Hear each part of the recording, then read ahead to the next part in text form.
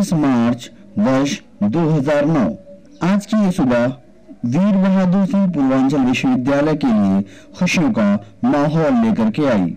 मौका है विश्वविद्यालय के बारहवें दीक्षांत समारोह का।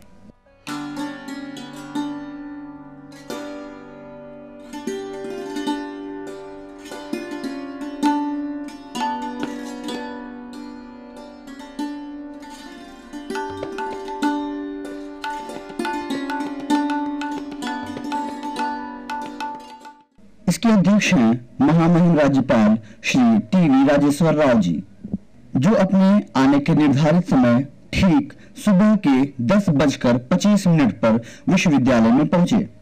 इसके बाद महामहिम शोभा यात्रा के साथ दस बजकर पैंतीस मिनट पर संगोष्ठी भवन में आए, जिसमें सबसे आगे विश्वविद्यालय के कुलसचिव doctor B L Arya ji थे। उनके पीछे महामहिम राज्यपाल मुख्य अतिथि साथ ही ज़िले के आला अधिकारी भी मौजूद थे और सबसे आखिर में थे हमारे कुलपति श्रद्धेय प्रोफेसर आर सी सारस्वत।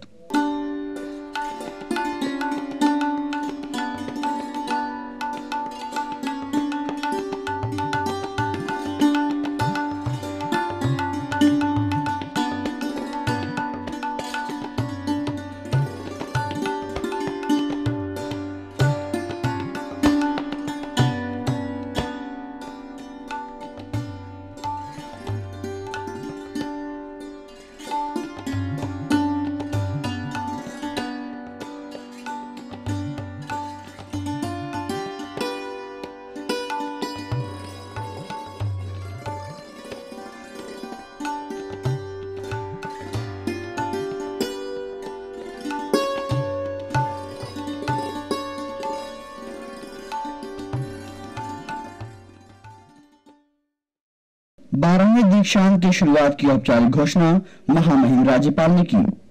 इसके तुरंत बाद माँ सरस्वती का माल्यार्पण कर दीपक जलाया गया, जिसे महामहिम राज्यपाल और मुख्य अतिथि प्रोफेसर बी एस सोंदे ने संयुक्त रूप से किया।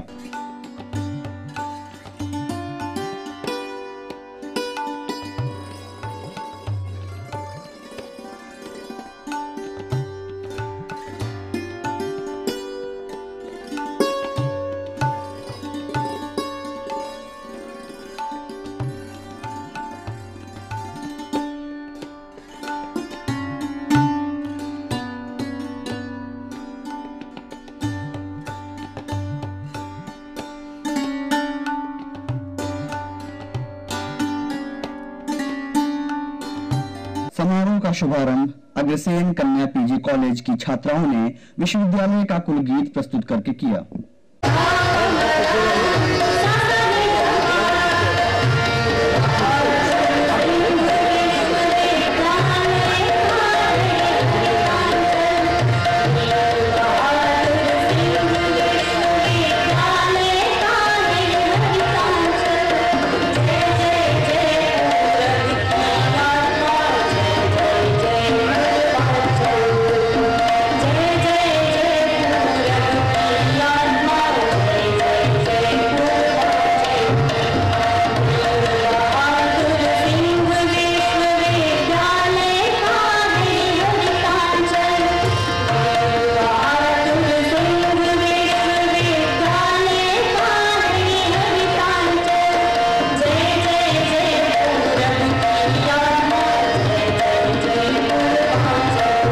अब बारी थी उस क्षण की, जिसका सभी को बेसब्री से इंतज़ार था वीर बहादुर सिंह पूर्वांचल विश्वविद्यालय के कुलपति प्रोफेसर आर सी सारस्वत ने महामहिम की संस्तुति से सात सौ तेईस उपाधि धारकों को पद व गोपनीयता की शपथ दिलाई ये वो मंजर था जब संगोष्ठी भवन में मौजूद सभी की निगाहें उपाधि धारकों पर टिक गईं।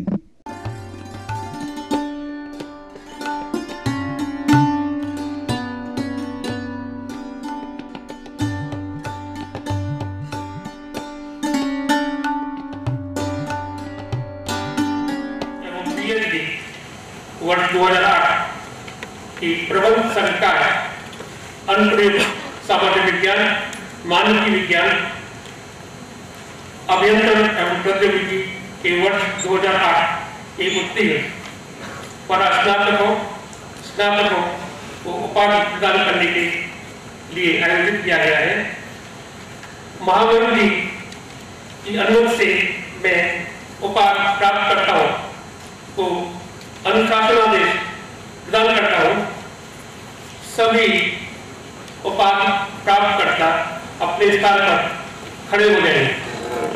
तथा इसे खंड में हम प्रतिज्ञा करते हैं, परंपरा परंपरा को छिन्न न करो। सत्य में प्रमाद न करो, धर्म में प्रमाद न करो, कुशल में में प्रमाद न करो ऐश्वर्य कार्य में प्रमाद न करो, स्वाध्याय एवं प्रवचन में प्रमाद न करो। देव और पितरों के कार्य में प्रभाव न करो। माता को देवता समझो, पिता को देवता समझो, वैसे ही तुम भी करो। इसी प्रकार जिन पर मिथ्या आरोप लगाए गए हो, उनके प्रथम प्रयास में अपने विभाग एवं संकाय में प्रथम स्थान प्राप्त कर स्वर्ण पदक प्राप्त करने के हकदार बने पैंसठ छात्र छात्राएँ इनका इंतज़ार जल्द ही खत्म हो गया, जब महामहिम राज्यपाल श्री टीवी राजेश्वर ने स्वयं उन्हें स्वर्ण पदक और प्रशस्ति पत्र देकर सम्मानित किया।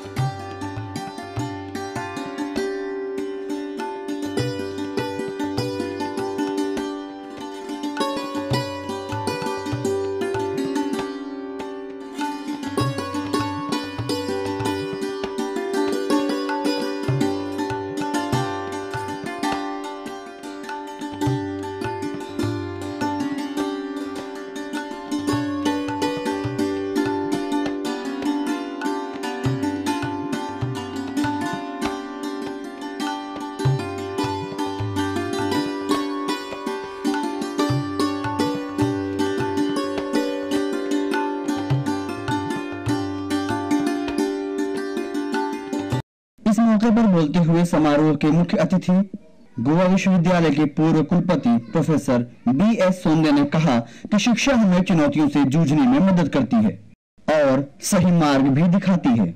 उन्होंने अपनी बात को आगे बढ़ाते हुए कहा कि हमें आज अधिक से अधिक जानकारियाँ प्राप्त करनी चाहिए, साथ ही उसे समय समय पर अपडेट करते रहना चाहिए।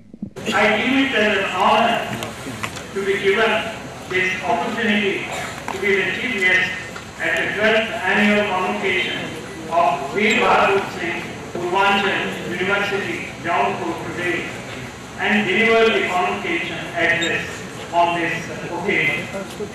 At the outset, I would like to congratulate all the degree awardees and also the gold medalists of the university who received their recognitions at this solemn ceremony today.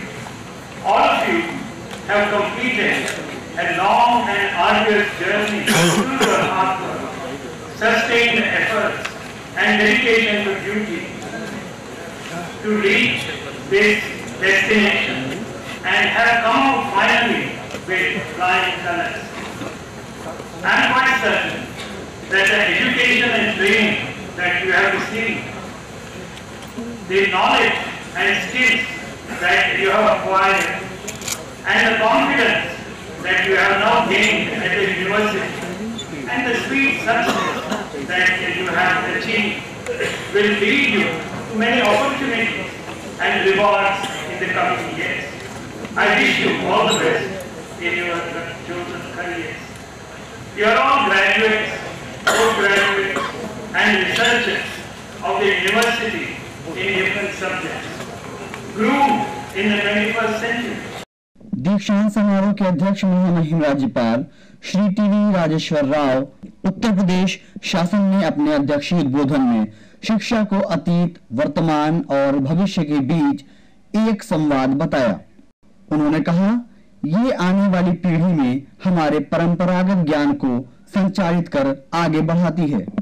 शिक्षा, अतीत, वर्तमान और भविष्य के बीच एक सेतु है, जिसके द्वारा हम अपनी उत्तम परंपराओं को अगली पीढ़ी के विकास के लिए स्थानांतरित करते हैं महामहिम ने विश्वविद्यालय की प्रशंसा करते हुए कहा कि यह अपनी रीति, नीति का सफलतापूर्वक निर्वाह कर रही है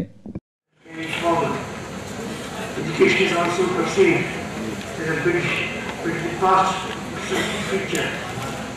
A need by which maintain is to the new generation its further powers. Our objective in the higher education not only to promote equality and but also to provide the right kind of work ethos, expertise, and leadership in all of life that will help in developing new citizens in time to come. Above all, our endeavor is our teachers and students, and to them in society in general, the intellectual developments of various languages of their physical, emotional, rational, physical, and spiritual education. These last two decades, the Indian education system has undergone of changes. That has facilitated a need for complete of the system. वीर बहादुर सिंह पूर्वांचल विश्वविद्यालय का बारहवा दीक्षांत समारोह धीरे धीरे अपने समापन की ओर बढ़ चला। समारोह के अंत में धन्यवाद ज्ञापन विश्वविद्यालय के कुलसचिव डॉक्टर बी एल आर्या ने किया। उन्होंने छात्रों के बेहतर भविष्य की कामना करते हुए समारोह के समापन की घोषणा की। और अगले दीक्षांत समारोह में फिर मिलने के वादे के साथ विदा ली।